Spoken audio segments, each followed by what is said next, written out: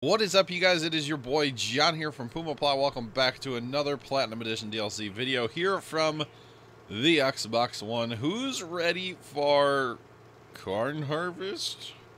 You guys know we have this one field. Well, it's really seven and eight, but we're gonna call it one field. Oh, you gotta unfold. Oh, I thought I was ready to go.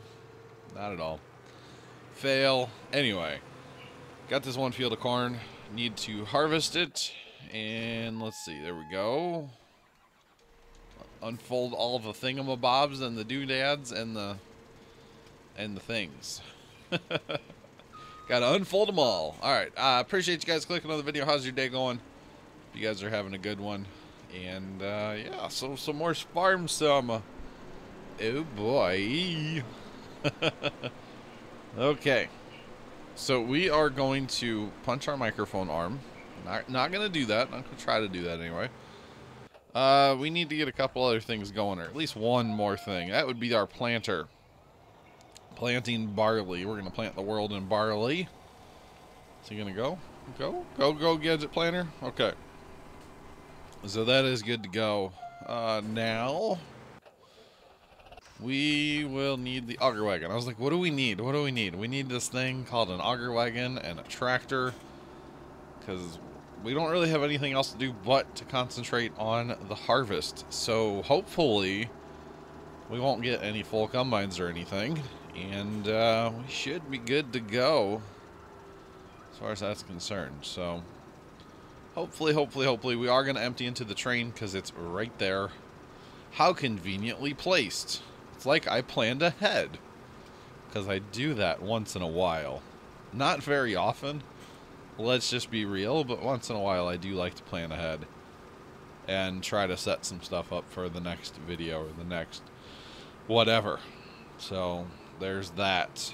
There is that. Okay, there we go. 5,668 liters for a pass. That's not bad. And actually his passes are a little short right now. They'll get longer, but that's not too bad. That's not too bad. So we'll probably run circles around the field because, like, got to hit one going each way and then hit the train you know what I'm saying? So there is that. And then we are going to have ourselves a selling party because we've got wheat and we'll have this corn and we have sugar cane. we've got a little bit of everything to sell right now. I mean, by everything, I mean wheat, uh, corn, and sugarcane. You know, you know the three things. I, by everything, I mean those three items we have to sell. So that should be fun, right? Should be fun or something. And I don't know about you guys, but I'm I'm smelling a high-speed video very soon in this series. We haven't done one maybe ever in this series or in a long, long time. I actually don't remember if we have, but we could totally do a high-speed, like full harvest in one video kind of thing, or see how far we get in an hour of recording or so. That could be fun that could be fun. This is episode 50, by the way. And, uh, yeah, I appreciate you guys watching. I'm not going to lie. I honestly... See, we're not too far, honestly. We need to start purchasing fields. My goal is to own all the fields before we move on. We do have a little bit of money right now. We could do that. But... I don't know. I don't know. I, am kind of feeling like... Uh, maybe this map's getting towards the end of its life cycle, but at the same time, we have not accomplished or anywhere near accomplished our goal of buying all the fields. So, yeah, we were never going to do uh, animals. You know, never going to have any animals on this series. This series was strictly going to be cropping. And I definitely say we've done that. But it's been 50 episodes now. This is episode 50. So I don't know how many more episodes we'll really do in the series. I need to start laying that out ahead of time and be like, okay, at episode blah, we're done and I don't know what episode blah is, but for now we'll keep plugging along. Um, I know there's a lot of modded maps on the console now, and I could definitely look into those. I guess if you have suggestions, guys, leave them in the comments below. I'm not saying I'm ready to pull the trigger on the map like today or anything, but, you know, got to be looking towards the future here. Probably get in one more map before Farm Sim 19 comes out you know, one more map on the console before then. So that's kind of what I'm thinking anyway. I don't know. I don't know. You guys let me know what you think in the comments below. And uh, yeah, until then, we'll just keep farming along here in our DLC South American map. That's what we will do. Just farm along. Just saying, farm along. So, yeah. So the the one dilemma is I could buy fields. I could buy like a field with our money, or maybe two. I'm not sure. And then um, R, I should say R, I upgrade this combine, this tractor and auger wagon to something bigger. That's probably what I should do before I go too crazy into buying fields. And I'll probably have enough money to do that after we finish this corn harvest. Cause, cause we got lots to sell, like I was saying before. We got a little bit of everything. Well, the three things. You know what I mean. We've got a lot to sell, so we will have to see how far we get as far as money goes. But it would be nice to have two of the same combines. That way they unload at the same speed, they fill at the same speed, they, you know, all that stuff. They drive to the field the same, all that kind of stuff. It would be nice to have two of the same combine. And honestly, a bigger auger wagon and a bigger tractor on the auger wagon would be nice as well. So, I'm going to put this sugarcane guy, quote unquote, away. There's just stuff sitting all over the map, and I'm trying to get better about parking equipment and putting stuff kind of away and, and stuff. I, I sometimes slack on that on some of my maps, but I'm trying to get better about that stuff. Just saying, sometimes it's hard when you have like all the mods out and or not all the mods, all the equipment out, and you're like, oh my goodness, so much stuff, so much stuff. We're gonna park in front of the hangar, because you know every big house in South America has a hangar outside of it, right? If you if you don't, you're not doing it right. you're not living right, guys. You must have your hangar out in front of your house, guys. Come on. Didn't uh, didn't I already tell you that? Like, come on, you got to have a hangar. You don't. You're just not living living life right. Goodness gracious. Yeah, I'm seeing some of those pictures of like, think it was maybe like John Travolta's house or something, like that celebrity John Travolta. He has he lives like on an airport and he pulls up like his whatever plane right to his house. It's like that's cool. I like that. Win the lottery, there you go. Although honestly, I don't know how much travel I would do. I'd probably do some travel because traveling is kind of fun. But I really don't know how much I would do. I think one thing that would be really really cool, and I know I've talked about this before. If money was not like a problem, to get like a big I'd probably do it via like a big RV bus thing, you know, like a tour bus that like a band would use to go on tour. Something like that instead of flying everywhere, but drive to every major league baseball stadium in a year. Take a summer and just go every stadium. I think that would be so so cool. And and realistically it wouldn't take you that long necessarily, but you know, spread it out over a whole season. Because, you know, I wouldn't want to go to some of the southern climates right now, of course, because it's hot. So you'd go to some of the northern ones. Maybe take like a week here and a week there to kind of, you know, do the trip. You send your bus to different places. Of course, you would have a bus driver. You know, you wouldn't you wouldn't drive it yourself. Come on. You know, if, if money was not a problem, you know, you could send your bus and then either like fly to different locations or whatever. Probably wouldn't fly though. I just I don't know. I've never flown and I don't, don't think I want to fly too much anyway. I don't know. Probably should. but I've never never flown. I've always got done the road trip.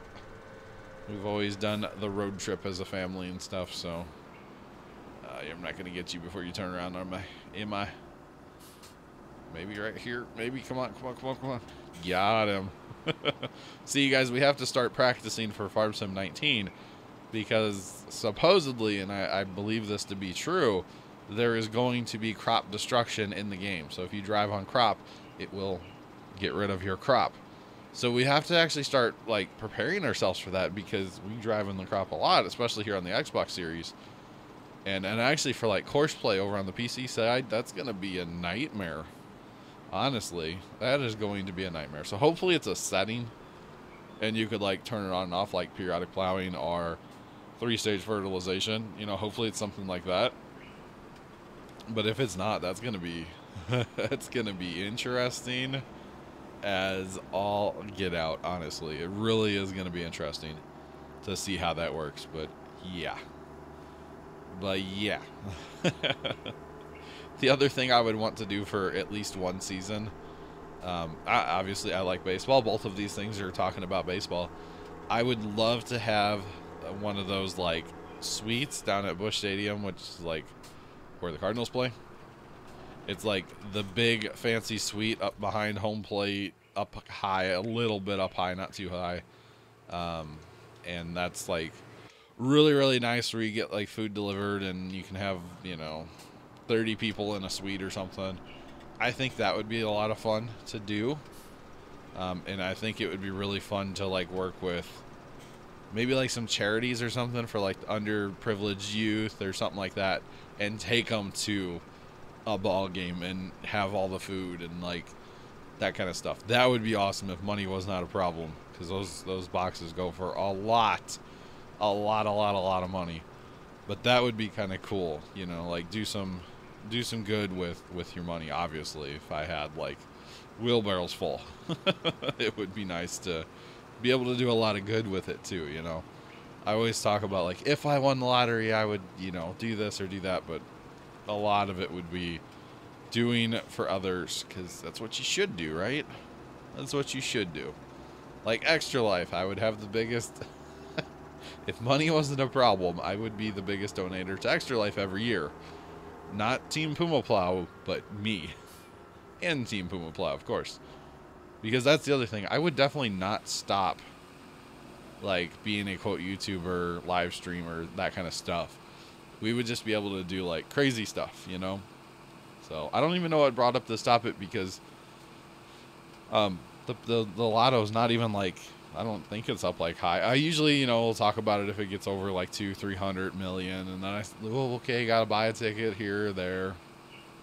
I don't play the lottery very often. In fact, up until about a year ago, I had never even actually purchased a ticket myself. So, um, you know, but it's two bucks if you happen, and I know it's rare and whatever, but if you happen to turn two dollars into even a million bucks, I'm okay with that. you know? So, yeah, I'd, I'd, be okay with that. And even a million dollars, I think I could live the rest of my life very comfortably off of that because you just don't be stupid with it. Just don't be stupid, stupid, and you'll be fine. You'll be fine. But anyway, that's enough of that. What else would I do if I had? Oh, getting a uh, thing at the the Blues game, St. Louis Blues. They just changed the name of their stadium or their arena. What did they change the name of their rink to? I can't remember. Oh, I think it's Enterprise Center or something like Enterprise Rent a Car. I think that's what it is. I'm not sure, but I think that'd be fun to like go for at least a season. Go to a bunch of games because it is fun. It's it's enjoyable. Um, and then I would have said football, but we don't have football in St. Louis anymore. So probably wouldn't worry about that. Maybe get some tickets to like the Chiefs games. That'd be kind of fun, right? Go over to Kansas City, hang out with some people, you know. Could be fun. I don't know. But anyway, a lot of sporting events. a lot of sporting events. Oh goodness. But anyway, enough talking about like money I'll never have, right? so farm sim, am I right? Uh, corn harvest, not going too bad. Combine's only stopped a little bit. Uh, not too bad, not too bad. If we focus on this, we'll be okay though. And actually, we're knocking this field out pretty efficiently here, guys. Pretty efficiently. We are knocking this sucker out, so there is that. Alright, another load from the Massey. The slow, slow unload. You really need to just ride next to the Massey at all times. He unloads so slow, but that's okay. That's okay. We still like him even though he's a little slow on the unload. That's honestly the only problem with the Massey Combine is the unloading auger. If it had a better unloading auger, it would be it would be just a superb combine. But the unloading auger is the uh, the downfall of this combine. And really that's not bad. If that's the only thing wrong with this combine, that's not bad at all. Although he's done unloading already, so I mean it's not terrible. It's not great, but it's not terrible. Just saying. Just saying, just saying. We should actually set up two combines side by side. Like pipe to pipe, and then you pull an auger wagon underneath and see which one gets done first. It'll be the bigger one, even though it holds more. Just saying. Somebody's beating on my front door right now. I wonder who that is. I wonder if it's that thing I ordered. Ooh, if it's that thing I ordered, I can't wait. I can't wait. Be featured in an on the farm video probably before this comes out. So there is that. I ordered a super, super bright flashlight. I have a thing for flashlights. I will not lie. I definitely have a thing for flashlights. And, uh, yeah, I just, I don't know. There's something about them. I just can't get enough. You know, with the technology of the LED, it's definitely spurred me to buy more flashlights.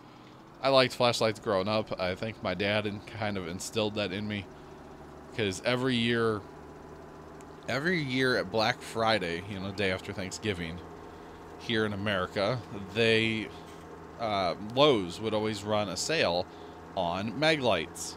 Well, every year for Christmas, by golly, we got ourselves a new Maglite. So I have Maglites laying around. We've actually gotten rid of a few, like batteries leaked in them and stuff. We still have a lot of them. But they were the incandescent lights, which, okay, they were great in their day. But then with the advent of the LED, well, then we had to kind of upgrade all of our flashlights, our Maglites to LED.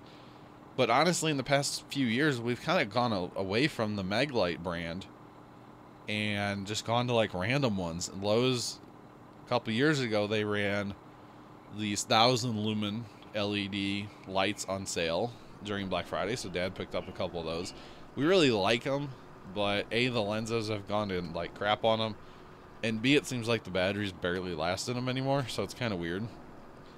Um, so the other day he was talking about flashlights, so he bought a little one. It's like a 400 lumen or 500 lumen, I think, which isn't bad, um, but it's small. It's real small, and it's good for like you know when you're laying under a truck or a tractor, and you need some light. It's good for that.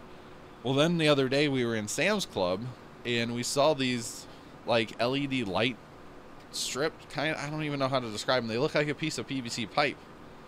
Is what they look like, but they illuminate 600 lumens out of them. And I'm like, that's pretty cool. So I showed them to dad, and he's like, oh, that's pretty neat. But he didn't want to buy them, obviously, because that's, you know, whatever. It's fine. And we were in there on, it was actually Father's Day. We were in there. I believe it. Yeah, it was Father's Day, right? Yeah, it might date this video a little bit. But anyway, we were looking at these things and I'm like, these are super cool. I want them. They're rechargeable. They come with the charger. There's two of them in the pack. Plus, they had an end light if you wanted to use it more as a flashlight instead of a, a floodlight, you know, or a spotlight instead of a floodlight. I was like, these things are super awesome. So I got online the other day and I ordered him a set. I'm going to give those to him. And then I was looking around online and uh, I found this other flashlight that is like obnoxiously bright. it boosts up to 2700 lumens for like a apparently like a short period of time if you need to like really see, but the rest of the time it runs I think the highest setting is just over or not the high setting the or okay, so there's low, medium, high and then boost. I believe the high setting is over a thousand lumens, which is like obnoxiously bright. You know, our thousand lumen flashlights we have the things are like obnoxiously bright. So this thing boosts up to 2700 lumens. I cannot wait to get the thing out at the farm at night and just light up the world. I, I just can't wait. I can't wait. Of course, you know, back in the day, I even had like one of those giant incandescent or halogen actually they were halogen bulbs like a big floodlight spotlight thing had had one of those where it actually had like the cigarette lighter adapter or the 12 volt auxiliary for like your car and you could uh, like plug it directly into like the truck as you're out you know whatever that thing was bright but with the, the advent of the led that stuff's just outdated you know with the invention and led stuff has come down in price quite a bit lately so it's pretty nice it's pretty nice not gonna lie but i've had I've had so many spotlights and floodlights and all these flashlights over the years and stuff. Like, if I see a flashlight that looks cool, I'm like, ooh, I gotta have it. it's like my my weird thing. I don't know. It's definitely like my weird gotta have it that kind of thing. So there is that. But I guess I'll have to go see who was at the door. My aunt is home today, so sh if she's up, she probably answered it. But she's been taking naps here lately in the afternoon. But anyway, that's another story for another day. So, guys, next video we will wrap up the corn harvest. I was hoping to show you the field, but instead, okay, we'll look inside the drain. Uh, we'll wrap up the corn harvest and do a bunch of selling and uh, move the plant around, that kind of stuff in the next video. But until then, I'm your boy Jon from Puma Plow. Thank you guys so much for watching. Have a great rest of your day. And as always, toodles!